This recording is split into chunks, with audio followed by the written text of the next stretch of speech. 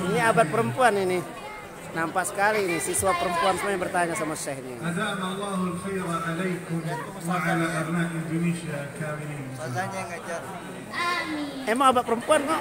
Mega Tren 2000.